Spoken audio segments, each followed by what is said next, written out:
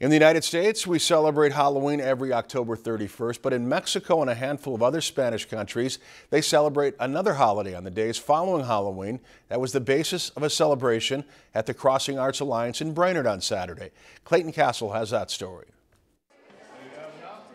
We're still a few weeks away from the hallowed holiday on October 31st, but on Saturday, the Crossing Arts Alliance was celebrating and teaching children about another holiday celebrated in Mexico called Dia de los Muertos. And the idea is to remember people who have died by making their favorite foods, by putting altars in your house, which basically means putting up a photo of them, putting the foods out, bringing in marigold flowers. Unlike other remembrances of those who have passed, Dia de los Muertos is not meant to be a somber holiday.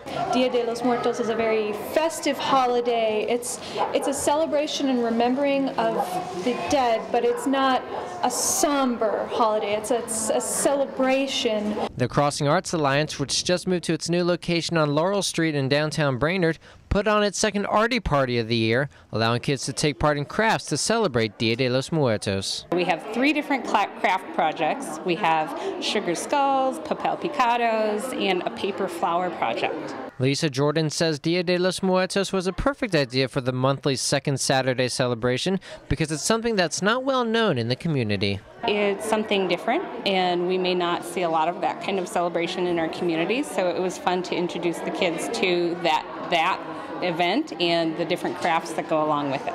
But most importantly, the kids had fun and just enjoyed making art. It was really fun, and I had a lot of things to choose from and do. I made a sugar skull.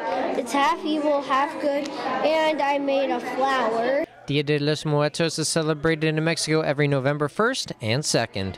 Reporting in Brainerd, Clayton Castle, Lakeland News. The holiday is also known as the Day of the Dead, coinciding with the holidays Halloween, All Saints' Day, and All Souls' Day. If you've enjoyed this segment of Lakeland News, please consider making a tax-deductible contribution to Lakeland Public Television.